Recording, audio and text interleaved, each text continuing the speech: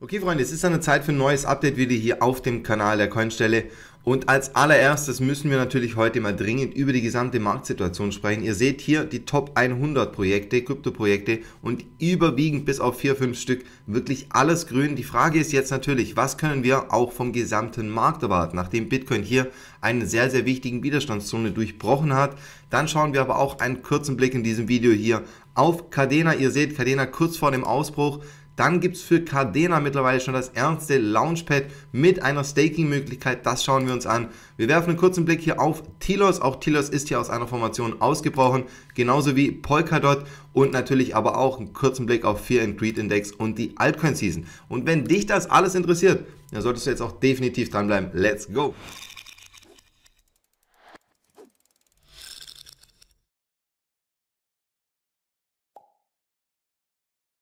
Alles klar, Freunde, dann starten wir direkt mit diesem Video. Und bevor wir uns jetzt die einzelnen Projekte hier alles im Detail anschauen, erstmal ein riesen Dankeschön an meine Community. Ihr seht das Ganze, wir haben heute Nacht die 5000 Abonnenten-Marke geknackt. Für alle, die jetzt natürlich auch neu auf diesen Kanal gekommen sind, sehr gerne gleich mal Abo dalassen, natürlich gerne dieses Video auch liken. Und jetzt, Freunde, starten wir direkt mit diesem Video. Ich würde sagen, wir schauen uns als allererstes mal den Bitcoin-Chart an, denn es ist natürlich schon wichtig zu wissen, dass Bitcoin jetzt in den letzten wenigen Stunden hier nochmal 15, 16 Prozent an Zuwachs gewonnen hat und natürlich auch was sehr, sehr wichtig ist, Leute, wir sind bzw. ist Bitcoin hier durch diese sehr, sehr starke Trading Zone erstmal soweit durch. Natürlich muss Bitcoin jetzt das Ganze hier oberhalb bestätigen höher als dieser Punkt kommen, damit wir auch wirklich bullish sind und dann hätten wir das nächste Ziel bzw. das nächste Target bei roundabout 52.500 Dollar. Aber ihr seht schon, auch wo Bitcoin jetzt gerade abgeprallt ist, wir können das Ganze mal ein bisschen reinzoomen, auch im 1-Stunden-Chart, dann seht ihr ein Versuch, jetzt wird gerade der zweite Versuch gestartet, aber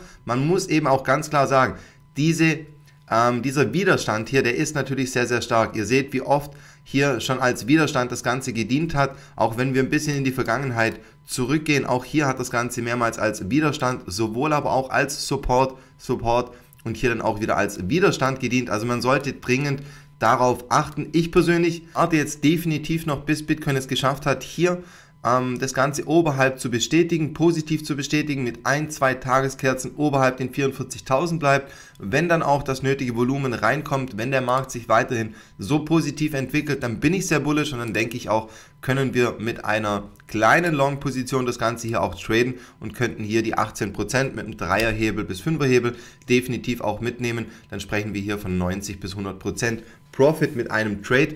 Denke ich ist definitiv interessant, aber Leute, ich persönlich würde noch warten. Warum?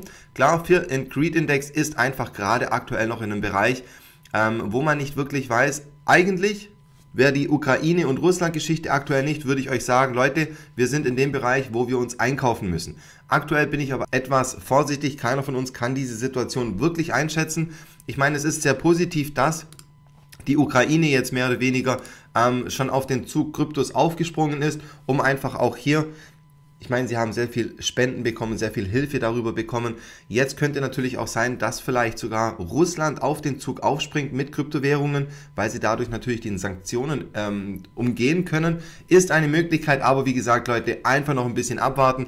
Deshalb Bitcoin, Ethereum wäre ich jetzt gerade aktuell noch ein bisschen vorsichtig. Was ich aber definitiv auf dem Schirm habe, ist einfach nur die Altcoin-Projekte aus dem folgenden Grund, Leute, wir haben hier letztes Mal schon drüber gesprochen, die Altcoin-Season, ähm, wer in diesem Bereich, beziehungsweise wer sich hier in diesem Bereich unten einkauft, der kann natürlich mit den Alts, mit der nächsten Altcoin-Season hier massive Gains mitnehmen. Und genau da sind wir wieder an diesem Punkt angekommen. Und deshalb, Leute, schaue ich gerade mehr nach Altcoin-Projekten. Ich meine, das Ganze wird uns hier auch bestätigt. Vor zwei Tagen war hier noch alles rot.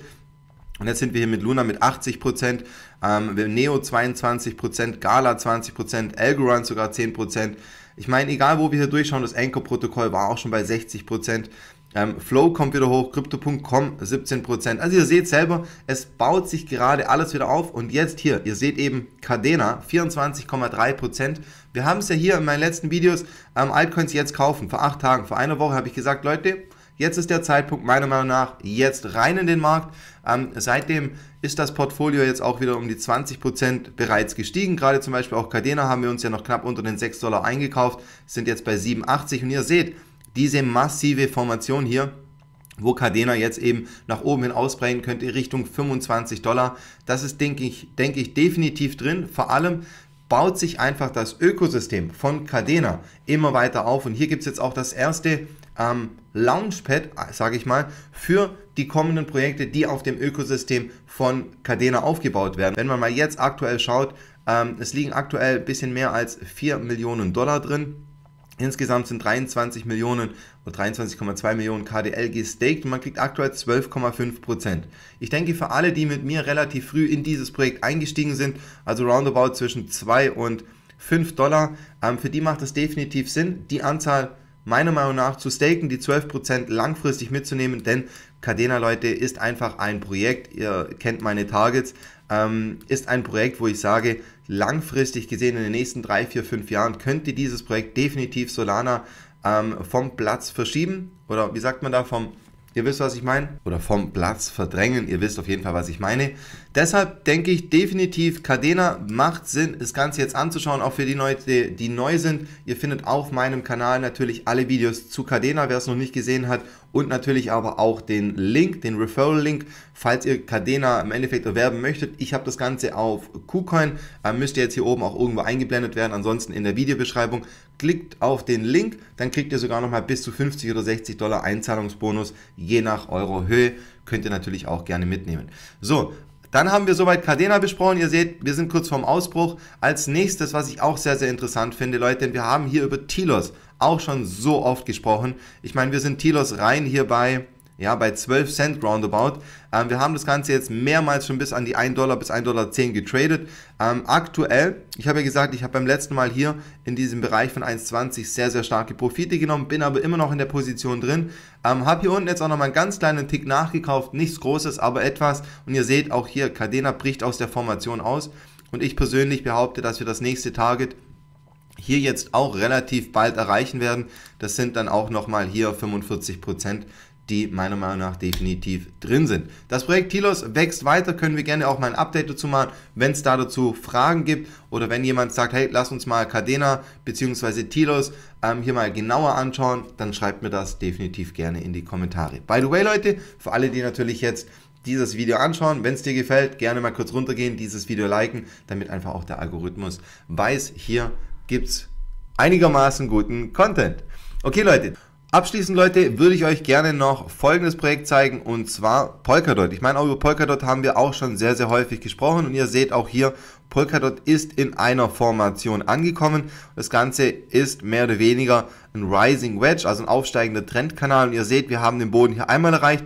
Das war letztes Jahr im Sommer, wo ich gesagt habe, okay, hier werde ich definitiv Polkadot nochmal ein bisschen ähm, aufstocken. Das Ganze hat dann auch bis zum Peak nochmal fast 3x gemacht. Aktuell sitzen wir wieder an dem Punkt und ich persönlich behaupte auch, dass jetzt Polkadot ähm, gerade bis Ende des Jahres definitiv hier auf die 60, wenn nicht sogar bis 80 auf 90 Dollar hochkommen könnte. Das heißt, also zweieinhalb bis 4x sind in diesem Projekt definitiv möglich. Ich meine, ähm, alles was mit Multichains zu tun hat, ist meiner Meinung nach definitiv die Zukunft. Ähm, wird sehr interessant, wird auf dem Level mit Layer 1 Blockchains wie zum Beispiel Cardena, Solana, Binance etc. laufen. Von daher bin ich da sehr positiv gestimmt. Auch muss man natürlich sagen, es sieht so aus, als würde es Polkadot gerade schaffen, aus dieser Formation ähm, auszubrechen. Das Target wären dann erstmal hier die 33 Dollar, also der Ausgangspunkt. Und das wäre vom jetzigen Stand aus auch schon wieder 75 Prozent. Allgemein, Leute, wie gesagt, schaut euch ein bisschen die Altcoin-Projekte an. Ihr findet diese Seite unter Crypto Bubbles. Das ist eigentlich ganz gut, um einfach mal zu sehen, wo steht aktuell der Markt. Ihr könnt das Ganze natürlich auch verändern. Ähm, ihr könnt eure eigenen Favoriten hinzufügen, Top 200, 300 und so weiter. Aber ich denke, das ist definitiv immer sehr, sehr wichtig oder sehr interessant. Da sieht man einfach, wie der Markt gerade, in welchem Zustand der Markt ist und eben auch, dass halt eben Altcoins, also ich meine, wir haben jetzt Osama, Leo, Luna, klar, Terra Luna zieht brutal an, ähm, habe ich ja auch meine Preisprediction bis Ende des Jahres bei knapp 1000 Dollar gegeben. Atom, Internet 3.0, definitiv, aber ihr seht, all diese Projekte hier, sind noch in den letzten 90 Tagen schwächer als Bitcoin. Und ihr wisst, was passiert, wenn die Bitcoin-Dominanz hier wieder etwas einbricht. Wir haben natürlich jetzt massive, hier Bitcoin-Dominanz zieht natürlich gerade brutalst an, Leute. Ihr seht das Ganze selber. Ähm, ich gehe davon aus, dass wir hier die 45%, vielleicht sogar wieder hier 46 bis 48% nochmal kommen könnten mit der Bitcoin-Dominanz. Und wenn das Ganze dann eben wieder fällt, dann werden wir definitiv wieder eine sehr, sehr starke Altcoin-Season sehen. Und genau aus dem Grund, Leute, würde ich euch empfehlen, das Ganze ist natürlich keine Finanz- oder Anlagenberatung, ihr müsst immer selbst recherchieren, aber ich persönlich habe ja in den letzten Tagen hier definitiv meine Altcoin-Positionen weiter aufgebaut. Das empfehle ich auch definitiv für die Leute, die das noch nicht gemacht haben. Gerne das Video auch dazu anschauen. Und ansonsten war es das jetzt auch schon wieder, war ein ganz kurzes Update. Ich wünsche euch eine schöne Woche, wir sehen uns im nächsten Video. Bis dann, ciao.